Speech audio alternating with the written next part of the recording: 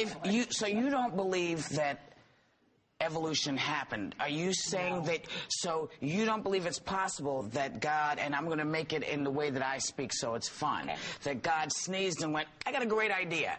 and created a universe which then took its its mm-hmm. movement because I believe From dinosaurs to birds. for all of from all of those things. I, I believe that God has given us a couple of markers to work from. I believe that. Mm-hmm. And so I have to believe that all of the knowledge that he's put into us to learn, he said, listen, take it and run with it. This is why I created you.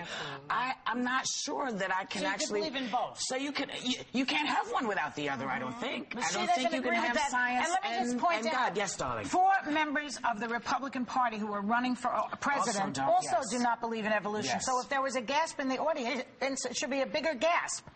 Is the world flat? Is the world flat? Yes. I don't know. What do you think?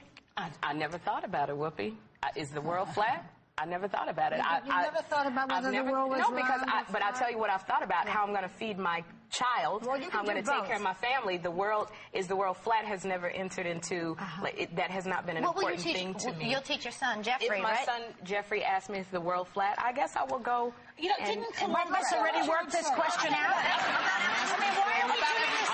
Because my question was, if science tells us that the world is round, Yeah.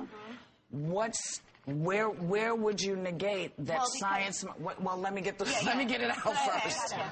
That science may say, okay, here's what we think has happened. And if you put your faith in the idea that the world is round, can we not mm-hmm. also believe that part of that comes from the ev- is And evolution that's why I as think well? God gives us those kinds Okay, of that's what I markers. was asking. You Thank know, you. He gives us those kinds of markers, but there are things that He does say in the Bible mm-hmm. that I, I take absolutely and Yeah, I but believe in. But He said what He about created. some? The Bible mm-hmm. is certainly to be respected and beloved.